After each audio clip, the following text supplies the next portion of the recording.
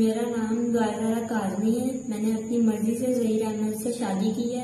मेरे घर वाले ज़बरदस्ती मेरी शादी किसी और से करवाना चाह रहे थे। मुझे मारते थे, जिस पर मैं राज़ी नहीं हूँ।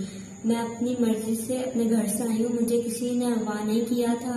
मैं अपने घर से कोई कीमती सामान नहीं लाई थी। मेरे घर वाले मेरी उम्र गलत बता रहे हैं। मैं बालिग हूँ।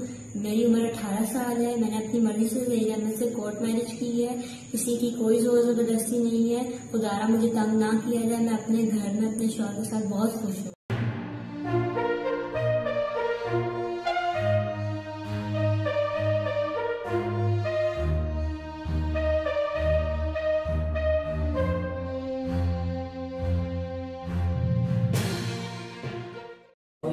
नाम गौररा काजी है। मैंने अपनी मर्ज़ी से नई अहमद से शादी की है।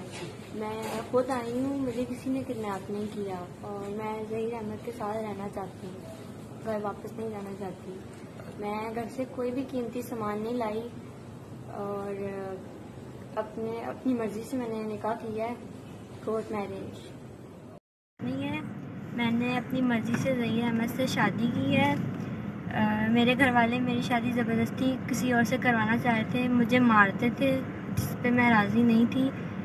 तो मैं अपने घर से अपनी मर्ज़ी से खुद आई हूँ। किसी ने मुझे किडनैप नहीं किया था। अपने घर से कोई भी कीमती सामान नहीं लाई। मेरे घर वाले मेरी उम्र गलत बता रहे हैं। मैं बालिग हूँ। मैं अठारह साल की हूँ। मैंने अपनी मर्ज़ी से जहीर अहमद से कोर्ट मैरिज की है। मैं अपने घर में बहुत खुश हूँ। किसी की जहीर अहमद आपका? दुआ दुआ जहरा काजम ठीक आप कराची से बिलोंग करती हैं? और आप बेटा? आप लाहौर से बिलोंग करते हैं। ठीक है। ठीक है बेटा। ठीक है। चौदह साल की भी पूरी नहीं थी।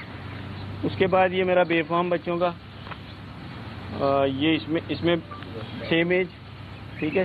सत्ताईस अप्रैल 2008 उसकी डेट ऑफ़ बर्थ तो मैं तो फैक्ट्स के ऊपर बात कर रहा हूँ। ये मे, ये मेरे पास उसका पासपोर्ट अब मुझे बताएँ अगर उन्होंने बच्ची आप सबने देखा वो एक निकाह निकाहनामा बनाया गया जिसमें 18 साल लिखा है। इट मीन्स के झूठ उन्होंने स्टार्ट किया। शुरू से एंड तक वो झूठ बोल रहे हैं। ये मेरे पास प्रॉपर एविडेंसेस मौजूद हैं।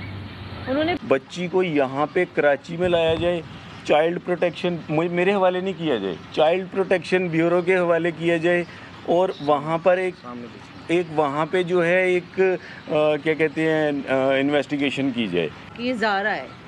उस वक्त मैंने अल्लाह का लाख शुक्र अदा किया कि मेरी बेटी मुझे ज़िंदा नज़र आई। क्योंकि आप सब जानते हैं ये जैसे जैनब का केस और डिफरेंट बच्चियों का केस होता है।